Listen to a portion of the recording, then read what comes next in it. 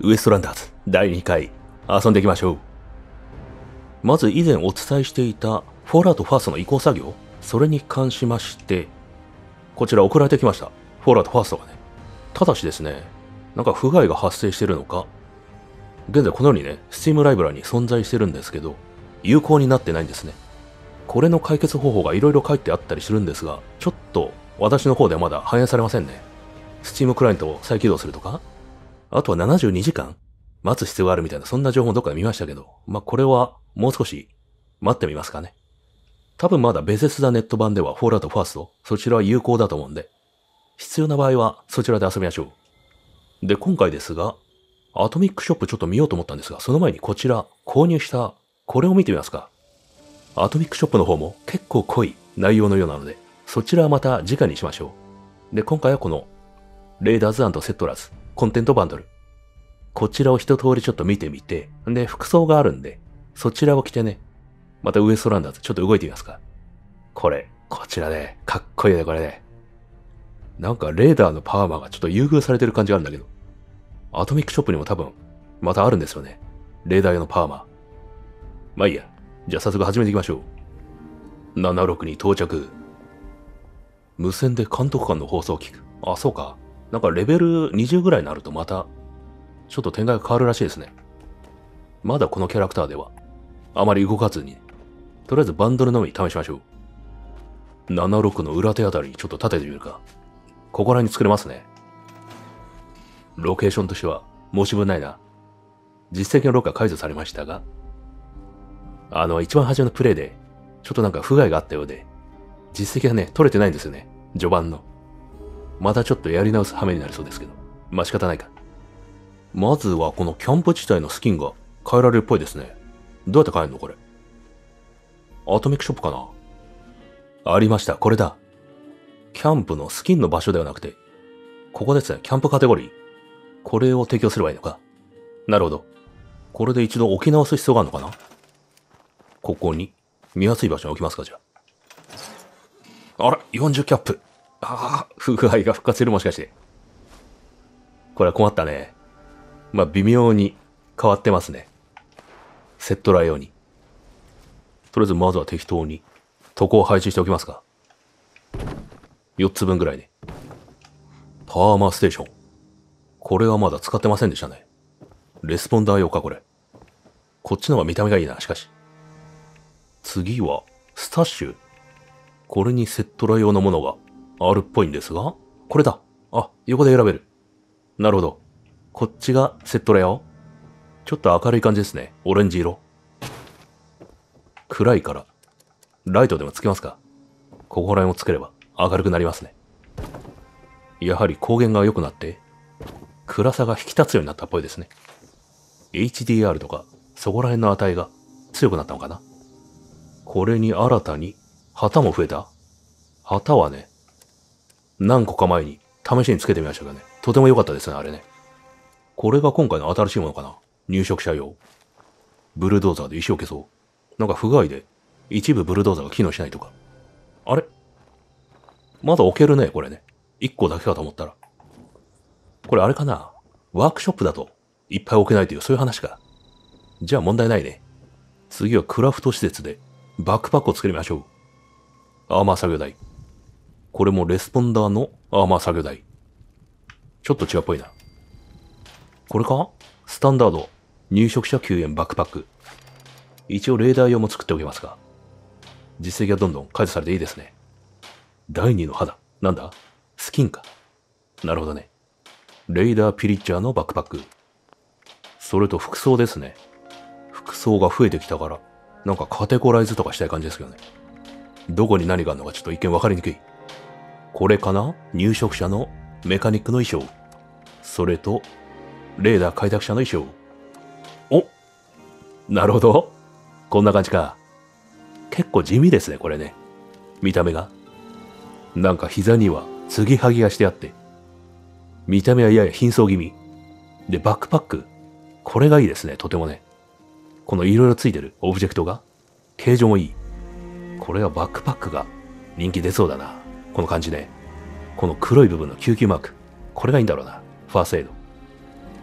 これと、もう一つ。とりあえずアイテム。なんかドロップしてみましょう。あ、来た。すげえ、やっぱり、ちっちゃくて見にくい。こんな感じですね。なんか書いてあるのかな、これ。いろいろシールが貼ってあるようですね。グラフトンとか、いろいろ書いてあるな。サットンとかね。近場の街のシールが貼ってあるんですかね。意外と全ての街が貼ってあったりしてね。まだ見たことのない場所が貼ってある可能性もあるのかな、これ。そして最後が、なんかプランターですか？あった。その他、これかな？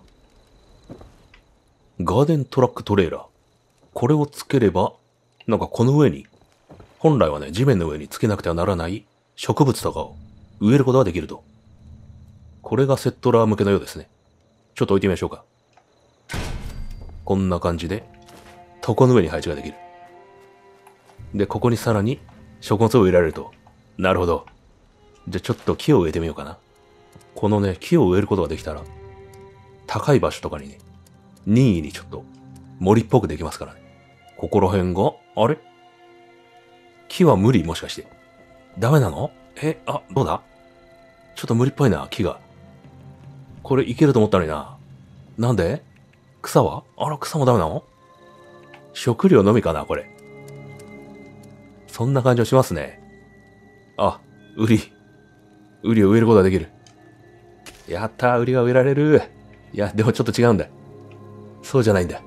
そうか。普通にまあ物は置けますけど、木は置けないんですね。これはちょっと思っていたの違ったな。やや残念ではありますが、まあ仕方ないか。ではパーマ、見てみましょうか。エクスカベーターにも適用できるんですよね、確か。できましたが、どうかな？こんな感じ。あー、なるほど。これやっぱ見た目変わってますこのちゃんとしたスキーになってますね。ただの塗装ではない。この手の横についてるの何でしょうね、これね。警棒かな？それをイメージしてんのかどうか。乗ってみましょう、早速ね。入植者のパーマに、ライドオンお、来たぞ。いいんじゃないか、なかなか。うん。明かりをつけてみたが、あれ？あんまり明るくないね。なんかライトがおかしくないか、これ？あれあれ？ちょっと不具合か、これ？ライトの方がおかしいよ。どうなっちゃってんの？もう一回つけ直そう。やっぱおかしいな、これ。三人称だと、右を向いてしまう。え？これはちょっと不具合っぽいね。まあ、これはそのうち治るでしょうね。とりあえずこれを着て動くのは、まだ当面先かな。ウエストランダーズの方は、まだパーマをね、手に入れたとしても、それを乗りこなせる構成になるまで時間かかりますからね。とりあえず使うその時まで、大事に温めておきましょう。では、セットラーの、もろもろバンドル確認は完了で、次は、レーダーですね。とりあえず服を着てみましょうか。レーダーピリチャーのバックパック。レーダー開拓者の衣装。どうだ？あ、こっちはどうだ？ああ。こっちの方が、やっぱ好みかな、私はね。これあれだな、サバイバリストの衣装。あれにちょっと近い感じですかね。全体の形状的には。バックパッカーいいね、これね。こっちもいいね。バックパッカーやっぱどれもいいね。これは早々に取らないとな。サバイバリストの衣装にちょっとなんか毛皮風のなんかついたような装飾が。そんな感じは見えますね。では、キャンプのスキン変更しましょう。これどうも変更した後は、やっぱりキャンプのね、置き換えが必要っぽいんでね。また40キャップ取られてしまうのかどうか。まあ、置いてみよう。よっと。お、ああ、40キャップ取られた。ちくしょーレーダー用のスタッシュは、これですね。オレンジ色に対し、こちらドクロは目立つ感じかな。これはどっちもスタッシュは見た目がいいですね、とてもね。どっちも置きたい感じだな。まあ、ここら辺はね、いくつ置いても損はないんで。好きなだけ置きましょう。なんだ紙袋？なんかくれんのか？宝の地図いや、いらない、いらない。ノーサンキュー。私もなんか落とすかああ、これはいいな、ちょっとな。見た目が面白いしね。結構特徴的ですよね。骸骨ね。当面はこれでいこうかな。では次は旗ですね。レーダー派閥の旗。こちら設定してみよう。おできましたね。ただちょっと暗くて見にくいかな。豪華にいくつか置いてみるか。我々はレーダーだ。あ、3つまでしか置けない。なるほど。自分のキャンプには3つまでか。では次は、トロッコのプランター、こっちか。これはなんか見た目が四角くてね。結構収まりが良さそうですね。どこにでもね。うん。こちら形状は特徴的ですけど。これ収まりはいいね、とてもね。ここにも一応木は植えられないか。調べてみるか。あ、やはりダメっぽいな、ここにも。これは残念だね。くそ、置きたいな。じゃあ最後は、レーダーのパーマ。こちらが、お楽しみの一品ですね。まずは、以前の超かっこよかったパーマ。そちらを比較用に置いておきましょう。レーダーウエスターのパーマ。これはもう抜群にかっこいい。しかし今回のね、レーダーパーマ。こちら漏れなくお気に入りになりそうですね。レーダーの襲撃者塗装。これでしょうね。できた。できたけど、間に合うかな比較が。お、できたああ、かつい。ごつい。ああ。ああ、かっこいい。こっちの方がかっこいいかもしれない。もしかしたら。ごっさで言うと。あ、しまっちゃった。こちらの方が、やはりね、この首と肩のライン、ぐるっと丸くなっていてね。私好みでしょうね、これね。早速乗ってみよう。おー、レーダーパーマ、ライドオンおー、やったーこれはごつい。超いいじゃん、これ。あ、また。しかし、明かりおかしい。変なとこ刺してしまう。これ残念すぎる。ああ、かっこいい。なんか武器戻せるか。こんな感じ。いいね、いいね。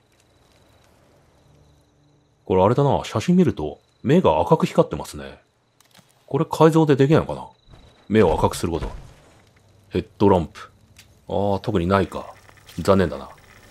もしかしたら不具合で赤く光ってくれない。その可能性も考えておきましょう。サムネイル画像用に写真を撮りたいが、他の人は来てしまいますね。ボルト76付近だよ。あ、このパーマ、顎部分が骨になってんのかなこれ。イノシシの顎みたいな感じですね。よし、まずは、こちらで、一枚撮影。カメラマン。よし、こちらでも、一枚撮影。では再び、今回購入した衣装で、ちょっとウエストランダーズを進めていきましょう。キャラクターをチェンジします。さて、ローディングしたところ、レーダーの基地から外に出ましたね。ちょっとアーマー作業台使いたいところですが、どうかな、敵は。敵対してんのかな、これ。調べてみよう。あとはダッチェスの元にはまだ戻らずに、パイオニアスカートキャンプ。そちらも試してみましょうかね。入っていいぞ。入っていい？ああ、問題ない。前回こいつらはね、虐殺したのにね、問題ないようですね。あ、あそこ、演奏してる。おー、いいね、いいね。やーい。はい。おー、燃えてる。ティームパックはとりあえず持ってきましょうか。他のプレイヤーを孵化させる必要ありますからね。使わないようにしましょう。ここに作業台がありますが、ありましたね。レーダーの開拓者の衣装。入植者のメカニックの衣装。ここからパイオニアキャンプ。東かな？ここら辺ですよね。また犬がいるんで、こいつら飼っていこうかな。肉にすればね、体力が回復できますね。まだいるな。来たぞ。やつ切る。一発で倒す。うら。あら、ここに人はいますね。この崩れた場所あら、誰だ？あ、なんだ、撃たれた？大丈夫？いやいや、敵だああなんだ、ブラッドイーグルなんだこいつらギャングか？ちょっと謎の敵現れた。ああ、普通の人であるんですね。しかし、まあ一種のレーダーだね、こいつらも。いいねいいね、普通の道にも。人間の敵がいるな。本当に新鮮ですね。あそこにぞ。おら。ジャンプ劇が決まらなかったか？これ動き悪い。待て待て待て待て待て待て。たる竹内。うわーうわーシャシュシュシュ逃げろ逃げろ逃げろ。いやー死ぬうわーまずったな。タレットが思いのほか強かった。肉で回復するんだ。血液パック。これは病気になる確率があるが、致し方ない。肉を食べまくる。あそこにありますね。一発では壊れないが。あ、壊れた。なんだ。時間差だな。あいつは突っ立ってますね。棒立ちの敵を倒す。特に何を持ってませんね、こいつらは。グラフトンの市長ともいろいろ会話ができるようになってるっぽいですけどね。全部流れたあれ。あれ敵か？入植者。仲間だな。今んとこ。水を切らした。水は貴重だからな、この世界は。ファウンデーションの人ファウンデーション。もしくはクレーター。あなたはどこに行くんだ？あ、ファウンデーションに戻ると。なるほど。ここから遠いんじゃないか？ファウンデーションは。聞いた話によると。スプルースノブとか、そこら辺ですよね、多分ね。なんだあれ？なんか変なオブジェクトありますね。ちょっと寄ってみるか。誰かいんのかな？怪しいな。なんだありゃ。で、あんまり寄り道しない方がまだいいかな。メインクエストでね、寄る可能性がありますからね。今はとりあえず無視よ。あれはあれか。誘拐された子供の家ですかね。フレディ。フレディには出会えるんだろうかな。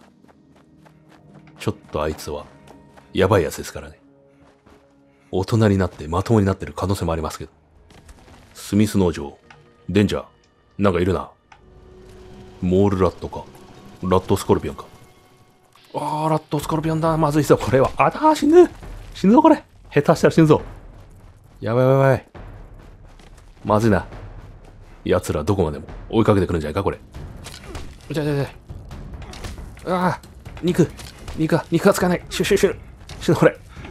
うわ死ぬ。肉。あ、肉ちょっとだ。ショートカット機がなんか使えないけど。無理やり食べて隠しよう。そうだ、こういう場所を使えば逃げれるはずだ。よし。どうだ？これしゃがむんだ。うわぁ、危ない危ない。やるしかないか。2体同時か。うわぁ、無理か。やばいやばい、足割れた。スティファック。いや、意外と打ってやれる？ああ、これは厳しいな。しかし、奴らの動きは止まってる。今チャンスだ、これは。弾はそこそこありますからね。いけそうですね、これは。あれ？復活したちょっと待って。体力回復したぞ、こいつ。どういうことだ？あまりに距離を取りすぎるとね、ライフ復活しますけど。それっぽい動作になったのかな、これ。奴が止まってるうちに、あ、危ない。えあもうちょいだ。まず一体。あ、倒した倒した。倒した倒した。シュンシュンシュン。肉。よし。あ、死ぬ。あ、ヒードになりましたね。これ逃げれるかな、今うちに。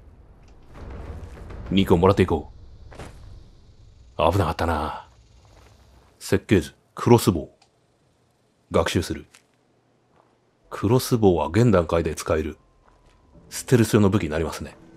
あれクロスボウはありませんね。どうしたレベルが足りなくて作れないとか。そういう話かな。投げナイフを装備。テスラサイエンス。こんなところに本があるんですね。こいつに話せば、クエスト開始でしたっけ？クエストが開始かな？これは。カエルの瓶。カエルの住みか。これ何使うんでしたっけ？出てきましたね。パイオニアスカウトの理念を実証する。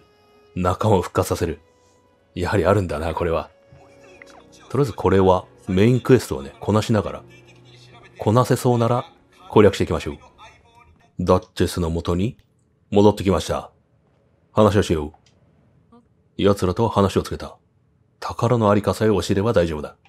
あら、それだけ？ちょっと期待外れだったようですね。しかし信用はされましたね。多分、用心棒は行方不明になってしまった？彼らを助けると、助けることで何か思い出すと言ってますね。言い回し面白いな。一人目はポリ送信機を無線で追跡できる。二人目はソル。ポリーの中に送信機が埋め込まれているのか？そんなバカな。いや本当だ。彼女が戦闘用ロボット。なるほどそういうことか。な仲間は何を追っていたんだ？スコーチか。しかし盗賊なのか？スコーチは。スコーチが役に立つ？そんなことがあんの？それは新しい発想だね。新たなクエストが始まりましたが、一枚写真でも撮りましょうか。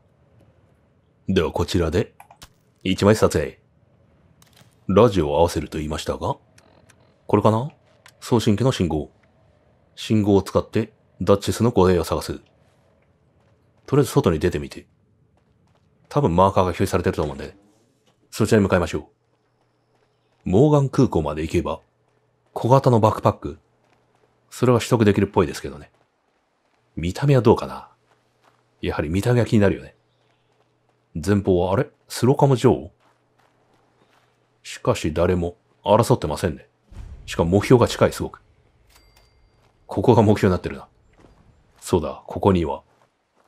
評論家がいましたね、料理の。あれのメモ書きありましたけど。まだ飾ってある？ありますね。写真読んでみるか。ウェイワードのポスターも貼ってあるんですね。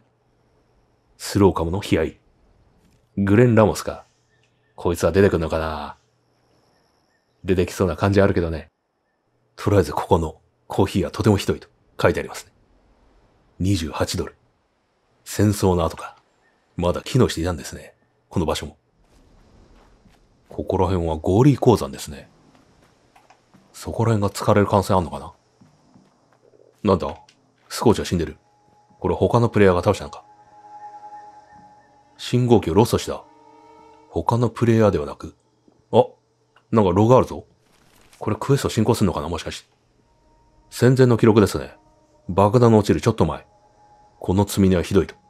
使える鉱石の量がとても下回っている。もう鉱山が干上がってしまったと。ホーンライトに連絡しようと。ここもホーンライトの犠牲になったんですかね。あ、合理鉱山でダッチェスの護衛を捜索する。なるほど、こうなったんだ。そういうことか。じゃあ合理鉱山、侵入しましょうか。落ちてる武器も、ああ、できますね。敵の落とした武器でしょうけど、これ。お気に入りと装備。追いはぎプレイが可能だ。新たな遊び方が可能になりそうだが、10ミリピストル。これは設定しようかな。パイプピストルの代わりに、10ミリピストル。では侵入開始。ここはひどいな。スパイスに。被釈が、トイレの中に。なんか料理を作っていたのか。ボブルヘッド発見した。アジリティ。レベル1。それならば、楽勝だな。コーションだが、来るか？ヘッドショット。まだいるな。おっと。デンジャーだが、レベルが低いから、問題ありませんね。ん？声がするぞ人間？おかしいな。ロボットという話でしたが。あ、人間だ。大丈夫か？何やってんだお前？あ、これはなんだ？スチームパックを使うことによって、おたまじゃくしチャレンジが解決しないかな？ダメかな？まあいいや、とりあえずやろう。はじめは全人プレイですね。ポリーはどっかにいるようですね、まだ。手を貸してくれないのか？あ、ちょっと無理っぽいな。よし、見つけてやろう。ソルは帰っていくようですね。途中敵を片付けない場合、襲われんのかな、あいつは。それ気になるね。071-990。成功。なんか穴が開いてるけど。水を回収していく。ぬかチェリーを手に入れたので。ショートカットに設定しよう。ここには？カードが必要？どっかにありましたっけ？これ。でも待てよ。なんでこんなとこにあるんだ？おかしいでしょ？どう考えても。完全に塞がってますよね。これ以前もあったかな？思い出せないな。ここにいそうですね。これは最後のフロアかな。みんな死んでる。お。誰かいるの？乗せてほしいの？女かと思いきや、男っぽい声だね。なんだなんだ？すげえちっちゃいぞ。アサルトロンか。なるほど。いや、もしかして、オカマちゃんですか？それっぽいな。これを武器にして使うということか？でも、ラット汚染されそうだけどね。なんだ？奴らは再集結。敵が来たようですね。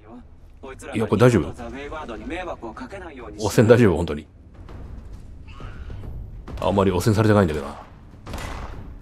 あれん？大丈夫っぽい？まさかの汚染されない特殊なアサルトの頭部が。しかし接近されると弱いぞ。バツ打つしかない。あれ？ちょっと待って。アサルトロンの、とどめさせないじゃん、これ。不具合治ってない？ちょっとまずいな。武器を変えようしかない。来るか？買ってこい。ぶった切る。武器を変えて。ほい。当たらんな。下に当たってしまう。じゃあ5段階チャージ。上に行ったい。おりゃおよし、倒した。問題なし。脱水状態。飲まないと死ぬか、これは。水を飲んで。しのぎましょう。向こうから新手。作業長。作業撃つ一発で倒したか？こいつらは2発ぐらいかな。2段階チャージ。それ倒せますね。ほら、とどめ。ここはクリアのようですね。ここは撮影ポイントですが、うまくこの円からね、写真を撮りたいですね。うまい位置あるのかな？ここら辺ですかねよし、じゃあこれで1枚撮影。なかなかいいんじゃないでしょうかでは戻りましょう。戻りましたが、どうなるかな？あ、いますね。でもポリーのアサルトロンの頭を抜く。こういうことかな？なんてことだ？ジョッキに入れる？どれ？水出し入れ。これ入れるんだ。頭を置く。あ、できた。やった。やめてよソロモンソロモンの略称がソルか。ダッチェスサマーズビルにロボットショップがある。そこに行くのか次はもしかして。新しいボディを見つけて新しいボディを見つける。そうしたらクレーンとお宝についてそしたら色々教えてくれると。サマーズビル。サマーズビルにダンカンダンカン。オーナーが隠れてる入れるはずだ。隠された店があるっぽいね。ずっと宝のありかを知っていたのか？耳を塞ぎたくなるようなこともあると。どういうことでしょうね。よし、やってみようチャレンジ完了。レベルアップかな？ライフルマンが取れますし、シャーシュ。あれ？クロスボウはじゃあライフルマンとは別になった可能性がありますね、これね。きっとそうだな。とりあえずライフルマン。一つ取りましょう。アクションボーイをランク3。よし、では続きはまた次回遊んでいきましょう。次回はね、アトミックショップ。そちらを見ながら、またこのクエストを進めましょうか。ではまた次回。